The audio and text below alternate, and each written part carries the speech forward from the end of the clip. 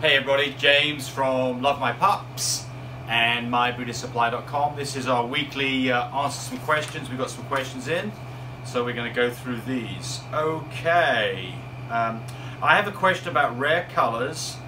Uh, uh, I'm new to breeding English Bulldogs. Uh, I purchased a lilac tri-male with good bloodlines and a blue with tan points. Uh, what do you do with the puppies you can't sell? Do you keep marking their prices down? Until they're sold, or is that flooding the market? Thanks for the help. Okay, so, I mean, we don't sell a lot of puppies, we're more in the stud business, but we do have a few litters every year, so we do run into this situation. So, so I would say to this, um, the first thing is, um, you know, be honest about your puppies, show great pictures, which means taking a lot of pictures. Uh, for me, uh, videos that I then put through YouTube work really well because it lets people not only see the puppy as a single picture, but it lets you see the puppy moving around. You can talk about the puppy as it's doing doing this, and you can do you know five, ten minute videos. So to me, that's probably one of the most useful ways of letting people know what kind of puppies you have is to do videos along with photographs. Now, start advertising and putting your uh, information out about your puppies early. Don't do it when they're 8, 9, 10 weeks old because people want puppies, they don't want older dogs. So I would get try to get people interested in adopting one of your uh, uh, puppies um, making a commitment to that sooner than later. So you put a price on it and you know you need to look and see what prices are selling for for those dogs in your area or wherever you're advertising and, and don't get you know, crazy on prices because if you do you're probably not going to sell any puppies. But if you're not selling puppies, what do you do? Well, the answer is, is you mark the price down. This is a supply and demand thing. So, so I can I can promise you this: if you do or don't sell your puppies, you aren't going to make a lick of difference to the whole marketplace. The whole marketplace for Frenchies these days is absolutely huge. There's if you go to places like puppyfind.com, you'll see, you know, 3,000 puppies that are for sale right now. 3,000 puppies that are for sale right now. So so part of this is how do you differentiate yourself from other people? Well, quality of your of your puppies is obviously one thing, uh, and also, to a certain extent, the way that you market your puppies, how receptive you are to your buyers, that you can answer their questions in a timely manner, that you have some, some sensible way that you can uh, uh, get puppies to your customers, that you have a contract that makes sense. You know, those are all things that affect it. But but if you're not selling the puppies, then you've got to do one of two things. Market it a different way, market it in a different place, or drop the price. Because if you don't sell the puppies, then obviously you're going to have an infestation of Frenchies in your house. Not necessarily a bad thing, but I promise you, whether you do or don't, if you drop the price or not, you're not going to flood the market. That's already been done. All right, enough of that one. Okay, I have a, I have a Frenchie. My female puppy's lilac, chocolate and cream in her DNA. Well, that doesn't make sense what you say there because if she's a lilac, then she is both chocolate and blue. Uh, so I don't quite know what you mean there, but anyway, I'm going to assume that you mean that she's both a chocolate and blue dog because she's a lilac. So in order to get full suit lilacs, uh, what is the right colour for the offspring? I think what they're asking me about is what should they breed the dog to. Okay, so remember, uh, by the way, I want to make a correction for the last video because I got some people who called me on this. So this is an example of, by the way, remember I'm not a vet, um, and I absolutely can give you wrong information, not intentionally. If I do, I apologize. And if I've got wrong information, call me on it so that I can correct it. So I made a statement last time about Isabella, which I think is incorrect. And I made the statement that I thought that Isabella was basically testable chocolate. That apparently is not correct. Isabella is another name for lilac, is what I'm being told. And that sounds reasonable. So, so what is a lilac? A lilac is a dog that is little b, little b, little d, little d. It is both a blue dog and a, uh, sorry, not it's both a chocolate dog and a blue dog. And I'm going to bring up one other thing that somebody mentioned in a, a comment from my last one. They, we were talking about chocolate. There's different forms of chocolate. There's testable chocolate, where you can run a test and it'll actually show you that it's little b, little b, which is pretty rare. And I call that Isabella incorrectly. Uh, and then there's most Frenchies uh, are non-testable, so they come back as Big B, Big B, but they have a red eye glow. All of these dogs that are true chocolates will have a red eye glow. In my experience, I have never ever seen a dog that was chocolate that didn't have a red eye glow. Um, And somebody also said, by the way, that merles, be careful because merles that are not chocolate can have a red eye glow. I have a chocolate merle girl. She does have a red eye glow. And I have a chocolate and blue carrier merle stud boy. He does not have a red eye glow. So I don't know about that merle part about, or I can tell you this, all merles do not have a red eye glow. That I can guarantee. But whether or not uh, a merle can have a red eye glow and not be chocolate, I don't know. My experience on this is pretty limited, is they do have a red eye glow. If, they, if they're chocolate, they don't have a red eye glow if they're not chocolate. Anyway, back to this. So this is the dog that you're trying to produce. The puppy needs to be little bit, little bit, little bit. Okay, so how can you get there? Well, the answer is, is both parents have to at least carry blue, chocolate, and blue to get a lilac dog. Because remember, um, this is the puppy we're trying to produce. And that, if, if one of the parents is this, then every time it gives that cannot produce a lilac. So this parent has to at least be this. And it has to at least be this. Same thing goes on for the other parent. It has to at least be a chocolate carrier. And it needs to at least be a blue carrier. Because otherwise, you so what happens? So the answer is the time that you successfully get a lilac out of this is if this parent gives this blue gene, chocolate gene, and this blue gene, and this parent over here gives this chocolate gene, and this blue gene. Okay, that's a little bit confusing. Can is, would it be better to just show it in a Punnett square? Well, I can't do it Punnett square and two different things is the problem. We can talk about them individually. But, but I'm going to keep on going on this, but Russ has got a good point. So the, the problem here is if you have two dogs that are chocolate and, blue carriers, and you want to get a lilac out, of it you'd only get one in eight of the dogs going to be lilac. It's a pretty rough call. So you're much better off, much better off that you, if you breed, get rid of this rubbish if you breed a dog that is, one of the parents is a lilac, and the other parent is a lilac, then this dog every time has to give a chocolate gene, great. So there's the chocolate gene. This dog every time gives a chocolate gene. This dog every time gives a blue gene. This dog every time gives a blue gene. Guess what? You get a lilac every time. You get a complete litter of lilacs. So if you want to produce lilacs, the most reliable way to do it is to have a lilac married to another lilac. You get a litter of all lilacs every time, no questions asked. It absolutely has to happen. If you choose a dog that is a um, only a carrier in one of the genes, then half the dogs end up being lilac. If the dog is only a carrier in, in both the blue and the chocolate, then only a quarter of them being lilac. And if both parents are only carriers, then only an eighth of them are lilac. So that may be a bit confusing, but that's probably the best I could do.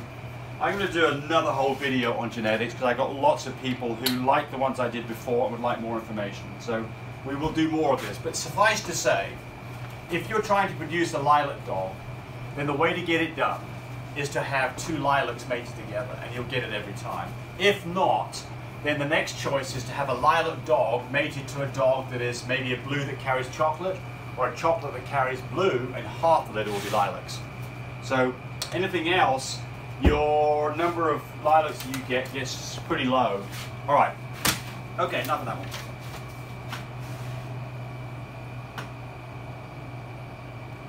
Uh, what do you feed your Frenchies? Do you give vitamins? Okay, I get lots of questions on this. There are so many different brands of food out there that we have used lots of foods over the years. Um, so these days we use a non-grain food uh, because we suspect that it might uh, make allergies worse. Frenchies can have allergies, grass allergies. We don't have a lot of problem with this, but at the same time, uh, we're not feeding a, um, a we're feeding a grain-free food. Right now, we're feeding uh, alpha dog uh, whitefish is what we give our adults, um, and that seems to work very well. But you know, I don't even know if that's available in your area. There are so many different kinds of foods out there with all kinds of price ranges. Uh, I, am certainly not an expert in this, but I think that probably feeding a quality which means expensive food is probably the way to go. Vitamins, yes, we give pet tabs. And we give, uh, we give um, something with folic acid in it to our pregnant mums too. I think that's a good thing to do. Um, you do that for human beings. Uh, women, when they get pregnant, I recommend that they take folic acid, so we do the same thing for our dogs. Um, and then one thing that we do as well is when our dogs are getting close to having puppies, um, we transition them to puppy food because it's got a bit more calories in it. I like to have a slightly fat dog, not a skinny dog going into a pregnancy because a dog that has a litter of four, five, six, seven, eight, nine, ten Frenchy puppies, they've got to produce milk, they get drawn down like crazy and they just start looking pretty rough. You can see their backbone after a few days and I just don't like it and you can feed them as much as you physically can and you'll still see that problem. And we also use a product called Bil-Jac. Um, a pen that works here. We use this product, Bill Jack. And that is a frozen, it's in a frozen food section at Walmart. Um, it is, um, do you have something? there? What's that bag over there? Royal something? Oh, that's for that's for a custom dog. Yeah. Uh, well, Royal Canin. We used to we used to use Royal Canin like crazy. We don't use it so much now. Um, what was I? Bil-Jac. Yeah. It's in a frozen section of Walmart. It's a five pound bag. Costs eight bucks. Uh, it, you thaw it out. It's a really it's a soft food. The mamas really like it. We sprinkle some goat's milk, goat's uh, some cottage cheese or some powdered goat's milk on top of it to give them more calcium. They'll scarf it up and we give them as much of that as they physically want to eat. We leave the bowl in there with their puppies 24-7 so they can have as much food as they want. Because you know they've got to produce milk, they need calories. They need calories to do that. All right, so that's that one. Okay, next question. Bill Jack. Bil-Jac is gone. Messy. Okay. Uh, Okay, please do a video with more information on moles. I'm going to do another whole video of genetics, so that one's not going to do today. I'm curious about the double A recessive black gene. I researched that and you can get different colors with that gene. What colors can you cross with that gene to create mutations of different colors? Okay, so we're talking, now I'm going to talk Frenchies here, so other dogs, this is the agouti gene. This is the agouti gene. So there are on the A gene, there's a possibilities of RAY, which is responsible for fawn dogs. There is AT, which is responsible for tan point dogs. There's A, which is the recessive black gene we're talking about, and there's one AW, the wild gene, not in not in Frenchies. That's when you get the wolf pattern. That's the AWG. Um, so most Frenchies are AYAY, and if they don't have a copy of Brindle, they end up being fawns. Uh, dogs that are AT-AT or ATA that don't have brindle end up being tan pointed dogs. So blue and tans, chocolate and tans, black and tans will all have that in their makeup, either one of those two. Dogs that are AA is, is a recessive gene. You have to have both copies to be, be in effect. Dogs that are AA are black. That's another way of getting a black Frenchie. Frenchie. This you can get a black Frenchie um, because of the KG, which is not present, I don't think, in Frenchies. So the only way you can get a truly black Frenchie is a dog that is double A recessive, and that will be a black Frenchie, no other color on at all. But the other thing this does is the A gene makes for a very uniform coat color. So if you put the AA with blue, DD, you get a very, very consistent, really beautiful blue coat. If you put it with a chocolate dog, then you get a very, very consistent blue coat, chocolate coat rather. And if you put it with an EE dog, which I have this dog, that which is all of this together, then you get a very consistent uh, um, kind of a, a, white cream color. I'm starting to see a pattern here. The AA recessive, shouldn't that be two lowercase a's? Well, yeah, it can be drawn different ways. I mean, a a little. I mean, the answer is yes. Um, you're, you're probably right about that. It probably should be drawn. Should, all of these should probably be drawn like that. And that should be like that probably. But again, anytime you say a a, you you know you, you can't have. There's no big A, little a. It's either A or it's not. But fair enough. All right, enough of that one. How many minutes are we into this first? 14. Oh, are we really? We've got lots of questions to do still. Alrighty. Yeah, that was kind of uh, confusing to me when I was researching a little bit was they use the capital A for dominant and the Yes. lowercase a for recessive. Well, there's yes, but in yeah, fair enough. I, I'm not going to add any more to that.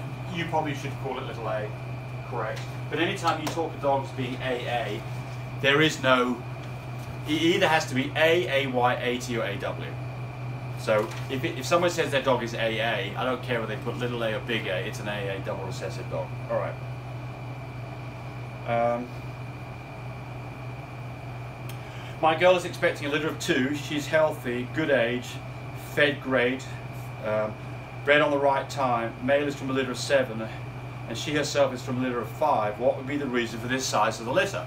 So she's asking about litter size. We've done a, videos on this, we've mentioned it quite a bit, but let's just go through it here again. So what impacts litter size? Well, I think that there is some anecdotal evidence that if a dog comes from a large litter, female-wise, that maybe it produces more eggs like its mother did and it has capable of producing more puppies. But, but the reality of it is that when a dog um, ovulates, it produces a certain number of eggs and we don't have any control over what that is. Now there are some drugs that you maybe you can give that might get more eggs out. We don't mess around with any of that stuff. But basically the job then is to do two things. Get viable sperm there at the right time and get the timing right. So the big thing about this is the timing. And I suspect if you have a litter of two, your timing wasn't right. I know you say it was right. I don't know how you did your timing. Progesterone tests is the way to do it. AI on a progesterone level of 15, surgical on a, on a level of 20, and check and make sure the numbers are staying up there. All right, that's that one. Next one. Hello, can you do a video on explaining the process of handling and inseminating ship semen? If you're not using a local stud, or do you only recommend TCIs and surgicals on ship semen?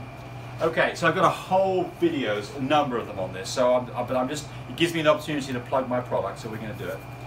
So we do a huge amount of ship semen all over the United States. I mean, literally, we send out as many as seven in a single day. We don't do that every day, but we will send out something in the order of five to 700 samples every year. We, this is our business. This is what we do. We have lots of really beautiful stud dogs. We've got 18 of them. Uh, and, and we really have perfected this. And part of the process to be successful for us is this electronic shipping flask. And you can look at more information on that. I don't want to harp too much on our product right now.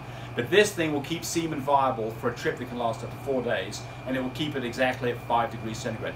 So you, you've got to collect from the dog correctly, you've got to put it with an extender that's been pre-warmed, you put it into the suitable shipping container. If you're using our product, you'll have great success. The customer gets it at the other end. When the customer gets it, they're going to have a, um, a world pack. Let's see.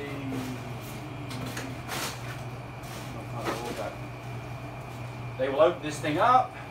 They'll open this up. Inside it, there'll be a world pack. The sample will be inside that. They then get a syringe and an AI rod. And we'll get one of those here.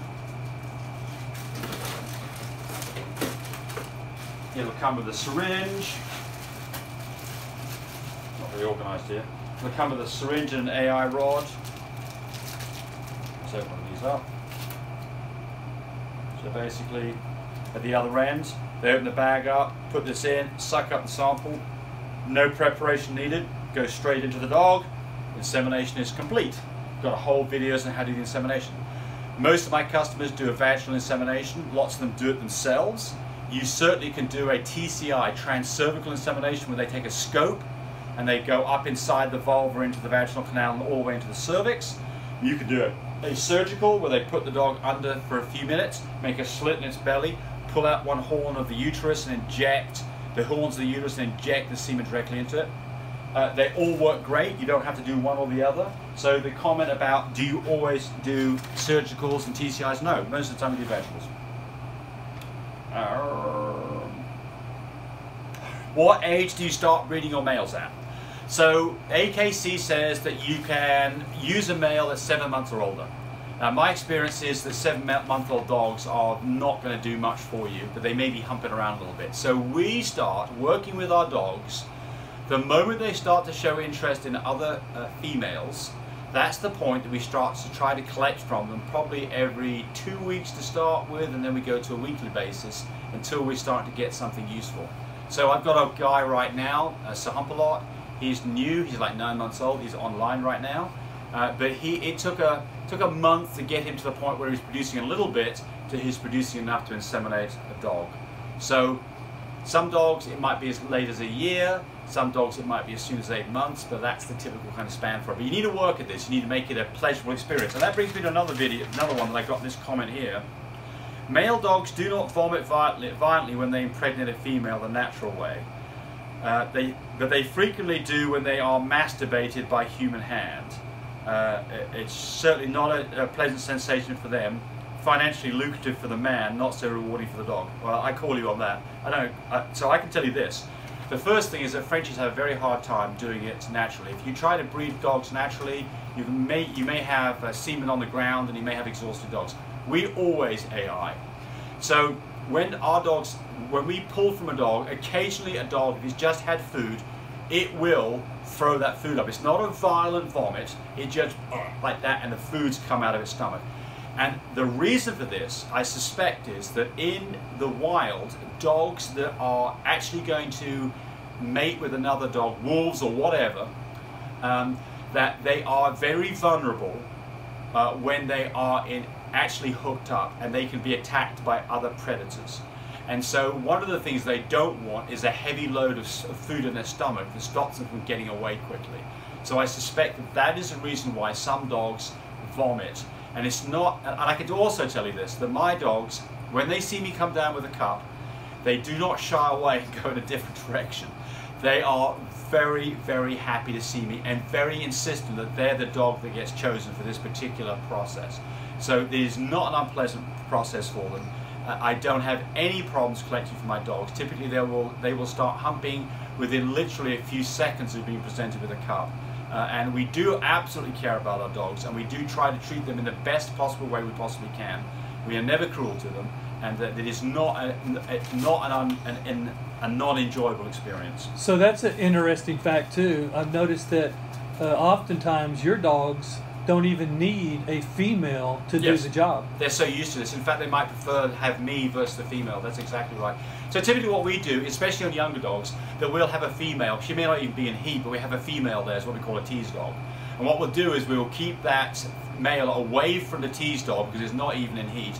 We get the we get our male up on a table where we've got it working height, and then we immediately bring the female up. The moment he starts sniffing on that female is the moment that we grab hold of him. And we don't masturbate, we just grip. All we do is grip his penis, and he gets bigger, and he will start doing this. He will start thrusting away for about what do you think, Russ? Minute, minute maybe, and then he'll calm down. And it's a bit of a it's a bit of a, a rodeo, isn't it? You've got this cup you're holding on here, and the dog's jumping around, and you want to make sure it all stays in the cup. But uh, um, but yeah, a lot of my dogs, most of my dogs, you can go down there and just plonk them up on a table. They know what's going to happen. They're happy about it. The moment you grab hold of them, man, they start ejaculating into a cup. Okay. Uh,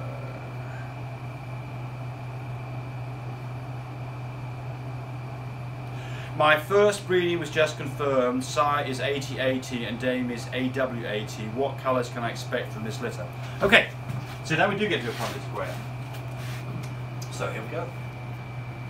So, we have, we're just talking about one gene here, we're talking about the A locus. So this dog is AT, AW, and the other dog is AT, AT. And Russ pointed out he wanted to use a little a.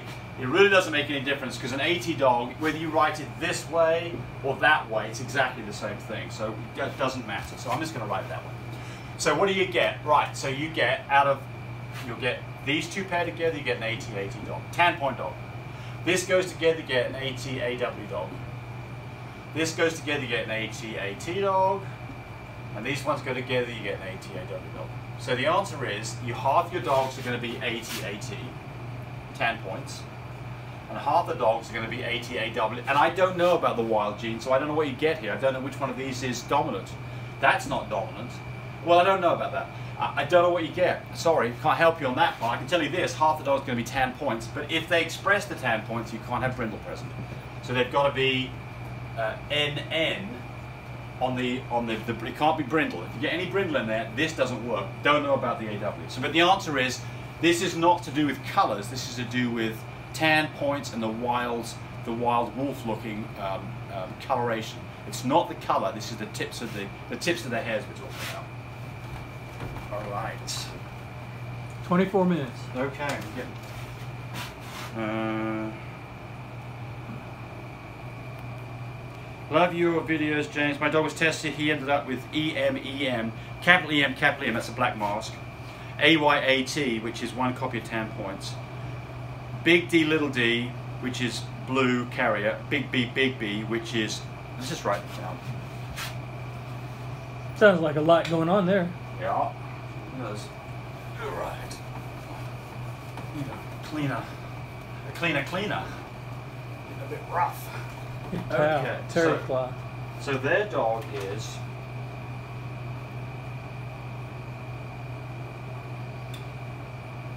Big D, little d. What is that, Russ? Um, chocolate. Blue. Well, you got brown, blue, B. That's D, the dilution gene, which is blue. This Uh-huh. is this is chocolate brown, which is the brown, chocolate gene. Uh, he is A Y A T. He is NS, which is to do with he's a pied carrier. Didn't tell us about the, the, the brindle gene. We don't know what's going on here. We need to know that to know what's going to happen here, really. So we don't know whether this dog is brindle or not. So we, we're missing one part. Okay. My dog has a red eye glow, but his dad is little b, little b. He won't produce chocolate, correct? No, he will. So you just made the statement that your dog was big B, big B because it came back on a test. Fair enough. But it has a red eye glow. If it really has a red eye glow, and I've got videos on this of what it looks like, if it really has a red eye glow, then this dog, although it doesn't test, it is that. And if it is that, that dog will produce chocolate puppies if it is put with another dog that is either BB or BB. If it's this, half the dogs end up being chocolate because you get BBs and BBs. And if it's put with another chocolate dog, they are all that. All of them are chocolate. So the answer is that uh, that um, this dog has red eye glow, it's chocolate, it'll produce chocolate puppies. If, the, if it's a blue carrier and you put it with a lilac, it would produce a litter of half chocolates and uh, half uh, chocolates that carry blue and half lilacs. Okay, what's how many minutes are we now? Anyone else think merles are a really ugly colour? Okay, so you know what they say is that, is that the beauty is in the eye of the beholder or something like that. Look, I mean, there's people out there who think that those of us who are breeding these uh, uh, uh, non-AKC showroom colours like uh, blues and chocolates and lilacs and merles are an absolute travesty and shouldn't be done and we should all be drug outside and shot. So, I mean, you know, if you don't like the merles, fair enough. I mean, you know, if you don't like redheads or you don't like blondes, fair enough. I mean, it's you know, it's game. Um, but but nobody responded to it, so I don't know. If you if you like them, say it. If you don't like them, don't say it. We'll do a tally and we'll come up with a count. We'll see what the count is on it. Um, so we're almost done here. Uh, We can make a questionnaire on our YouTube channel. Okay, we might do that. Right, which what page on the internet can I go to to get color color test uh, DNA test? Well, the one I use is Animal Genetics out of Tallahassee, Florida. Um, they're very good. Uh, they have coupons every now and then. Typically, a complete color panel will cost you 130 bucks. When they have a coupon, they run typically twice a year or three times a year. Then it goes down to 95 bucks. You have to send off a DNA sample. That you can ask them for a free DNA swab kit. You basically take that and rub a little brush on the inside of the mouth and, and collect this, the sample that way. Uh, you can't do that in puppies that are nursing. You can clip a nail and make it bleed, or you can do, or you can uh, um, clip nail, clip, um, do claws when you do claw puppies. You can send those off. Uh, takes about a week for results. Very good. I like them. Uh, and here's the last one. Do you have any experience with ear hematoma? Can you please message me on this? Yes, I have seen this. So what happens is, is the dog, for whatever reason, bashes its ear and it gets a huge, great big swollen up ear. Um, and the reason that it did this is, is probably because it had an ear infection, either yeast or ear mites, and it started shaking its head like crazy and started bashing its head onto something and then caused a blood vessel to break in its ear. This caused this hematoma. So you'll get this dog with this hu- hugely swollen ear. And the, The fix for this that, that has worked for me is two things that you do. The first thing is you drain the blood off the ear. So you go get a syringe, a needle, a pretty big needle. Uh, a, a, I say a needle, I mean a needle that goes onto a uh, syringe, a fairly decent bore needle. You stick it in the margin of the ear. When I say the margin of the ear, I'm talking about, oh, we have 30 minutes yet, Bryce? We're at 30 right now. Okay, so this is the dog's ear. Here's the dog's head, and here's the ear, right? What a terrible looking dog. So this thing is swollen up. You go on the edge of the ear where you've got this big mass. I'm just going to draw the mass. There's a big mass right there. So you come in with the needle on the side and you drain that out, squeeze the ear and get the ear flat. Then the next part of this is to go, if you don't do this next part, it just fills up with air again. You go get something round, like that plastic part, and you take the ear and you take the ear and you put the ear around it and you wrap tape around it. And what that does is it stops blood going back in there, so it compresses the ear. You can't just fold the ear up, it doesn't work. But if you go get something that's round and you take the ear around it and then you take some tape and wrap it around it, that will probably fix it for you and the hematoma will go away and it probably won't come back. But if the dog has an ear infection, you're gonna have to fix that. So go, go look in the dog's ears, see if it's stinky in there, go enlist a vet, go get some drops for ear mites, go get some drops for a yeast infection, whatever it is, get rid of the ear infection. All right, guys, um, here we are. If you've got questions, um, then you can email us, you can phone call us, you can go to our website if you'd like to look at our studs. If you want to buy products from us, like our heated whelping system, our shipping containers, puppy kits, all of those things, then uh, there they are right there. Um, if you've got questions and I, you want to talk to me directly, absolutely do it. And then I've got one more thing. You can put me back on the, on the screen there if you would, Russ. One more thing is um, people are asking about how do, what, what's our dog kennel set up. Well, we are about to build some new kennels because we're moving. And so I will put the plans up for that, show you exactly. I'm going to do a whole video on. I've got quite a bit of experience of this over the last 15 years, so I've built a number of kennels and I've got better every time. So hopefully this next one will be the very best one that we can do. And I also want to talk about this just really quickly. We've got a new product that we've been messing around with. Oh dear. I'm not very organized here. Man. Come on, come out of there. Here we go. We got a new product. We're not ready to sell it yet, but this is basically a heater. So this is a heater. There's actually some heat tape in here. It's run off 12 volts, so it's very safe. This gets bolted down to the floor, and this gives you a really nice, uniform, heated area for your dog to lay on. What are you looking for, Russ? Uh, something to put up against the side to show how thick that is. That's some really, that's it's strong a, material. It's, a, it's aluminum plate that is completely, the dog cannot, this is one that's been used, the dog cannot tear this thing up they can tear up the power cord, and that's what we've been working on for the last nine months, is to come up with a correct way to get a power cord that works. The good thing about it is it's 12 volts. So even if a dog does chew this thing up, they cannot get hurt, which is very, very important. So it's not live 110 volts. This gets bolted down to the floor, and what I find in the wintertime is that all of my doggies are just laying on top of one of this, just feeling great. So it's just a nice warm area for them. So that product will be available for this winter. We are still getting the kind of final touches on it. I don't even know what the price is going to be yet, but uh, um, I, I, did this because all the products I've seen out there, a dog can tear them up. And I wanted something that physically you knew was safe. It wasn't running off 110 volts, and the dog couldn't. You know, all the heat pads I've seen, you know, dogs can be pretty destructive. Uh, I've got some igloos, for instance. Some of my dogs um, have igloos as well as their pens, and I've got one dog that will eat an igloo completely it'll, in a year, it will have eaten that igloo where there's only half the igloos left. He, this is when you can see it's dirty.